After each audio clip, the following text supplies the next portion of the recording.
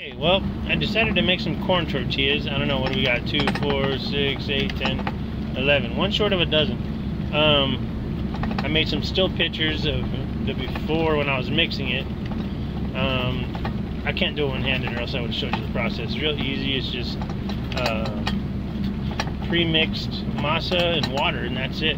So what we have here is a tortilla press. Um, this is pretty necessary for corn tortillas. It presses them flat. And then a skillet. You could pick up this uh, tortilla press for like, I don't know, 20 bucks, 15 bucks at the at some Mexican store. So basically this is how it works. You grab one of these balls of masa that you made, stick plastic over the top. Plastic is only there to keep it from sticking.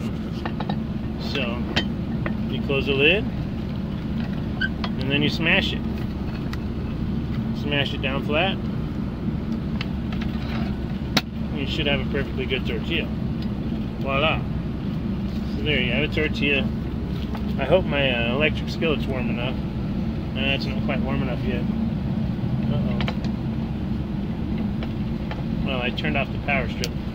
So we're gonna have to deal with that for a minute. So, and that's pretty much it for making homemade on the truck tortillas. Let me tell you a little bit about the mix. It comes in a bag. It's a instant corn tortilla mix.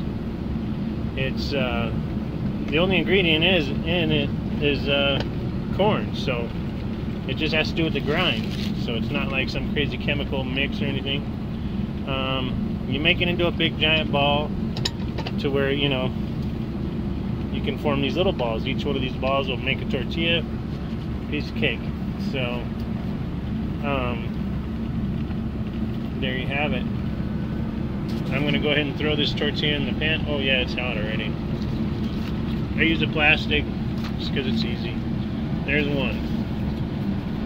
So, we can make another one.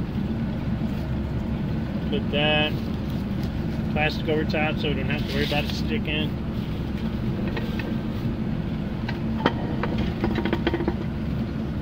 Close the lid, mash it a little bit with your hand. And then press it down. It'll stop. Don't break the handle and you'll be in trouble. There you go. You just keep doing that, you know. However many times, I'm going to do it 12 times. So, that's that. Real simple, real easy. Only thing you really need is a tortilla press. Um, shouldn't be too hard to find one. If you're interested, I think you'll uh, find this really handy. You, you only have to make like two or three tortillas, whatever you need, you know. This is getting there. I should get a spatula, it's pretty hot. Um, it's really not that. There we go.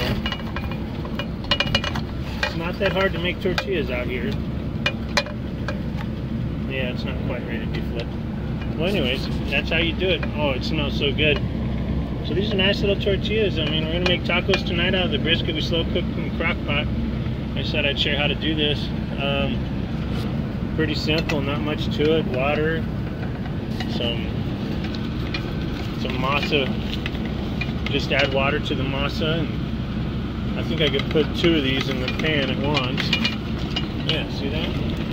Little buddies, little buddies dancing around on the skillet together. So there you go. There you have it. Piece of cake. Hope you enjoy our tortillas. Um, thank you. Bye.